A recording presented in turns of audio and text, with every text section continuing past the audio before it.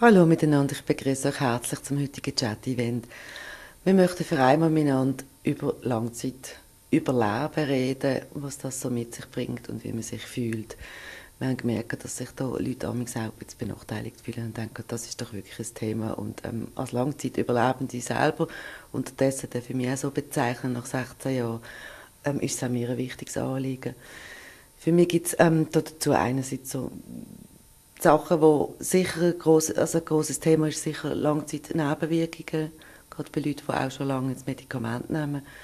Ähm, ein anderes, was mir sehr am Herzen liegt, ist auch, ähm, ja, Freunde überlebt zu haben und immer noch Freunde zu überleben. Also wie gehen wir eigentlich mit dem um?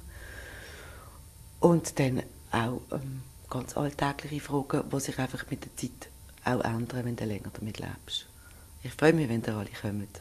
Bis dann.